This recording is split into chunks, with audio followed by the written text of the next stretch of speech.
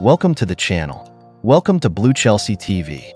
Before the start of the season, Chelsea were looking like a complete mess, but Enzo Maresca seems to have put reins on this wild horse fairly quickly. After five Premier League matches, the Blues are just three points away from the top of the table with just one loss which game on the opening weekend at the hands of Manchester City. Chelsea secured a regulation win over Barrow in the EFL Cup in midweek and on Saturday, the London outfit will welcome Brighton and Hove Albion in match week 6 of the league. Chelsea have won the previous four matches against Brighton, however. The Seagulls are undefeated in their last six away matches.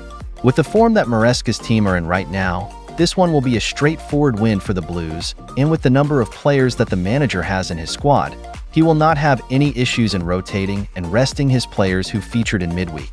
Take a moment to like the video if you are enjoying the content. Subscribe to the channel if you're bumping here for the very first time.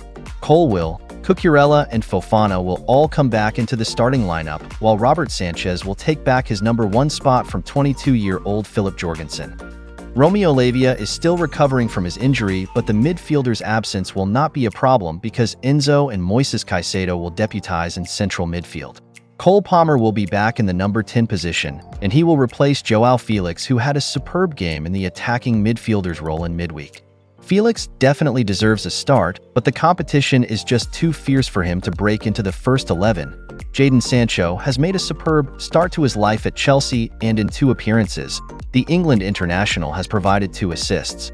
Neto has been the preferred left-winger for Maresca, but since the summer signing played against Barrow, it's safe to say that Sancho will get a starting brief. Christopher Nkunku was the star of the show in the 5-0 win, scoring three goals. However, Nicolas Jackson will come back into the starting lineup. Despite all the criticisms, Jackson has made a stellar start to the 2024-25 and in five Premier League appearances, the 23-year-old has six goal contributions. Chelsea predicted lineup versus Brighton. Predicted starting lineup 4-2-3-1 Sanchez, Cucurella, Colwill, Fofana, Gusto, Enzo Fernandez, Caicedo, Sancho, Cole Palmer, Madueke, Nicolas Jackson. That's all. Don't forget to like, comment, and subscribe. See you later with another video. Until then, bye-bye.